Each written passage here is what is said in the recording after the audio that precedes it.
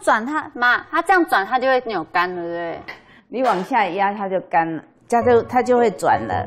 因为跟我们家不一样，我们家是那种拉的这样，哦，就这样就可以转的吗？不行，这样子，然后你压，我是往下压哦哦哦要直一点，不能歪掉，就歪了。哦，歪了，对，你在里面一点，不用到这样子啦，这样子，哎，好，又有一点歪歪了，还是歪歪，又歪了，为什么我弄不直？姿势不对，哦，姿势不对，这样呢？哎，对，你看速度就很快了。哦，对呀、这样很棒啊！你看，很聪明。好，干了就可以再去擦。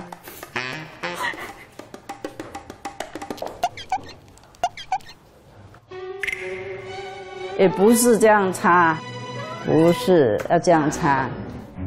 哦，前后前后前后，你试试看，好，对。你是右手还是左手的？有差吗？但是很多人都是这样拿的啊，妈，你这还有 pose pose 的问题哦。这样很顺哦。对啊，哦，但是这整个圆圈要到地上低一点。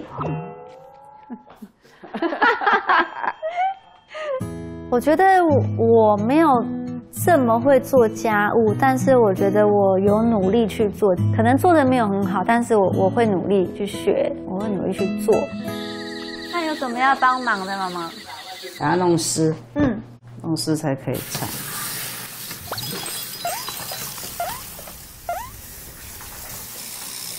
那我应该弄外面对不对？你去把外就是外面弄一弄面那个有一棵百香果，百香果的树，对，要种。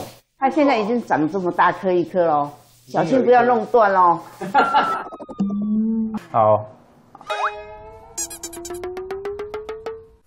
然后等一下那个小智，那个百香果树哈，它这里已经有一棵很大，这是百香果树，这里有一棵这么大，你看，已经有一棵了，你要小心哦。种在哪里嘞？种在这里。哎把这个拿走，它就种在这个地方，这个要挖起来。通通拿掉。啊，哎，杨叔，你来了。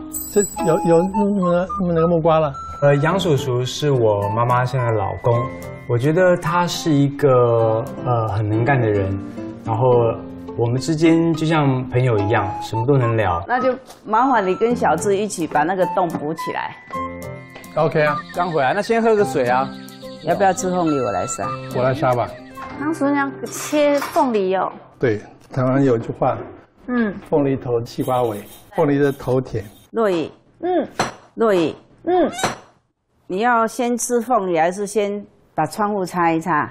嗯先把窗户擦一擦，我没有那么。OK，好。那你那边擦好，那个厨房那边也要。要不要帮忙擦？帮你擦吧。你们休息一下好了啦，你们休息一下好了啦。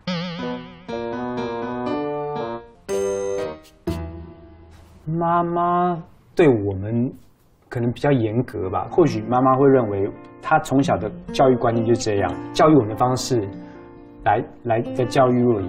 毕竟妈妈总是妈妈嘛，那总是希望不要让我成为假新饼看难。